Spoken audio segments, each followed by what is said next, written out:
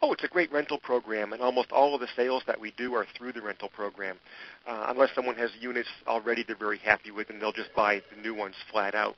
But what we do is we have a try to buy program. And what we do is it's a rental of $300 a month. We do require that you keep the unit for three months because that's plenty of opportunity to really see how well our device works. Once that period is over and you decide to purchase the unit, every dollar of the rental will go towards the purchase price of the unit. And what I can tell you, Bruce, is that 85% of the people out there who rent them wind up buying them. And kind of personally, as a sales guy, I love that number. 85% close rate makes me very happy. Yeah, that's great. And how about if whether I bought or whether I rented? Tell me a little bit about how do I know what's the right size unit, and, and not to get into all the technical information right here, but how do we decide what's the right size? What, what where should it be located? Um, those type of things. What kind of power requirements are those easily determined by either Weeder's Digest that can provide the information, or your organization that we can um, help the people decide what size unit, where to put it, and what the effects will be? Oh, it's very straightforward. It's just not confusing at all. First of all, from a power perspective, um, you can run 110 house current out to the device. Our power supply is going to knock it down to 24 volts and then send 24 volts into the unit in the water. If you are a commercial application and you've got 220 nearby, plug it into the 220. We'll, we'll give you a different attachment, obviously, but plug it into the 220, knocks down to 24, and out it goes into the water. As far as placement in the pond, the device is a line of sight uh, type of device where when you put it in the water, you want the face of the transducer, which is you know marked. It's not a big deal to figure out which end is which. Um, if that transducer can see the water, so to speak, it can control the algae in that area. So put it into a corner where you can point it out and it has the maximum coverage. Off the face of the transducer, you're looking about 170 degrees off that flat face that'll be going out into the water. So point it out towards the, the majority of the water and just know that when it goes out, it'll be able to cover the rest of it.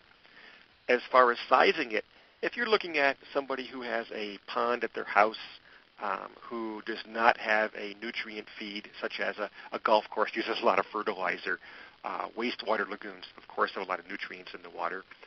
But if it's your average pond at someone's house and you're looking for some coverage, rule of thumb would be that we have a model SS500 that could cover up to three acres and that goes for $3,995.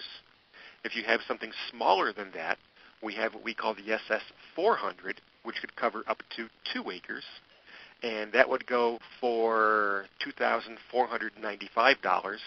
And then we have smaller units also as you get down to like koi pond sizes, about a quarter of an acre.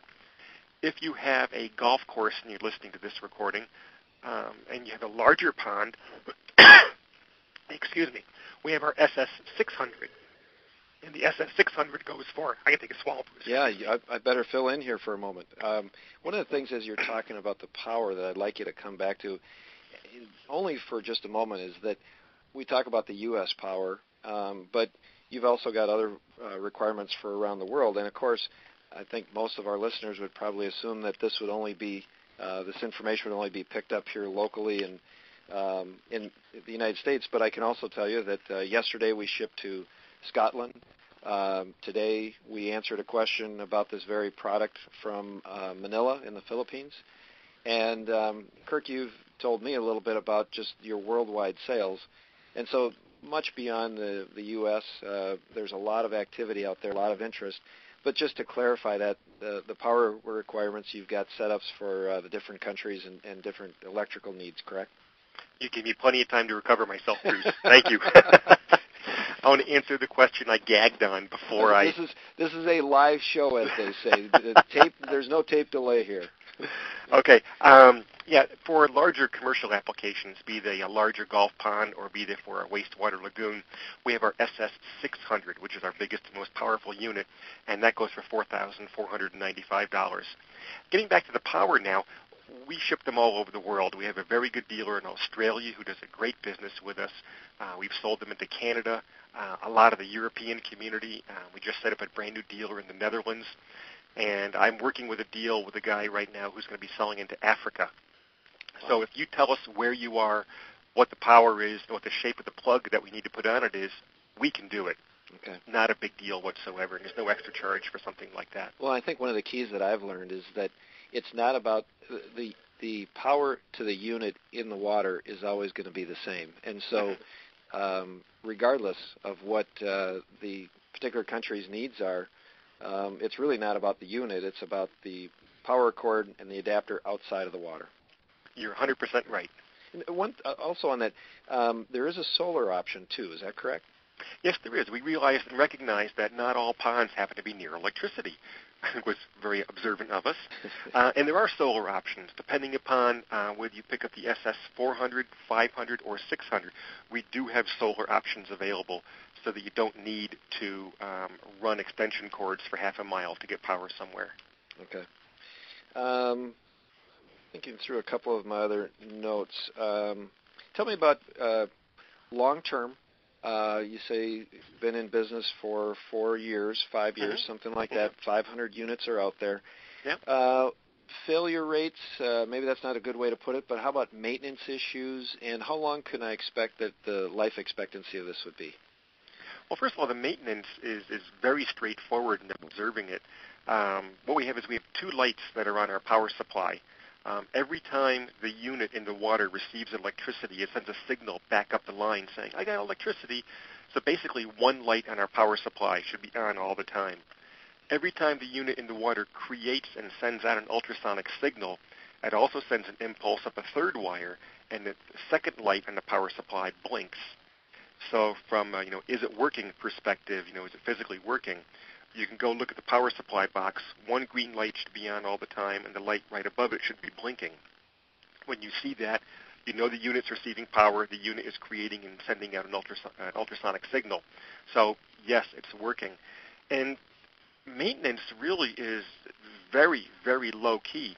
What we recommend is that you put the unit in as soon as the ice melts, take it out before the ice freezes over, and besides that, pretty much just leave it in the water and let it run 24/7. Again, 0.4 amps is the draw, so it's not going to draw very much electricity whatsoever. And depending on your pond, if it's a place that has historically had a fair amount of algae, once a month you may want to pull the unit out of the water and uh, just see if the face needs to be wiped off or something like that. And that's pretty much it from a maintenance perspective.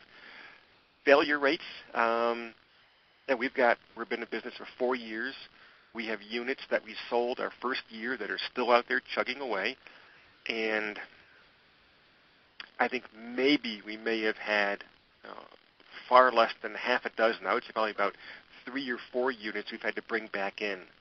Uh, and we've swapped those out entirely with no questions asked whatsoever. Uh, the unit does come with a two-year full warranty, and we have a life expectancy to the unit of, we're saying 8 to 10 years. Okay. That's what we fully expect it to last. Okay.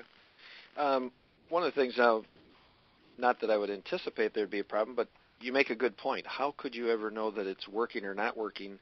The lights obviously are the indicator, but in the actual water, you're not seeing any, you're not hearing anything. There's not a bubbling. There's, there's no uh, obvious um, sign that this is out there other than it's floating in the water. Correct? Correct. If you were to just walk up to the pond, see the device, and look at it, without looking at the power supply and seeing the lights blinking, you could not tell if it was working or not. The way that you would tell is by the lack of algae. Quite frankly, that's how you tell. And just one quick anecdotal story is that um, if any of your listeners happen to be in an environment where the water does not freeze over, by all means, leave the device in year-round, 24/7. Just let that sucker go.